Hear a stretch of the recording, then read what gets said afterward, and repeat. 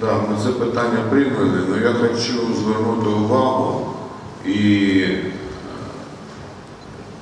тих, хто за це відповідає, і також звертаюся до средств масової інформації, що то, що відбувається зараз на е, коксохімії, ті виброси, які зараз проходять то всі містяни вони просто в від цього підприємства. Я сьогодні говорив з директором цього підприємства і казав йому, що чи, чи вони будуть е, платити зарплату і працювати як е, для всіх буде зручно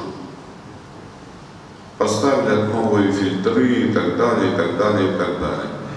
Ніхто не дасть в обіду містян, а, котрі проживають близько на той території, там чуть далі.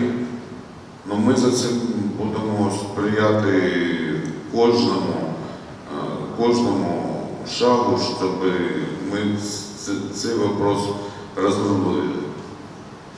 Так не буває, що тільки підприємство працює, всі болеють, там діти, старики і так далі, мами, папи.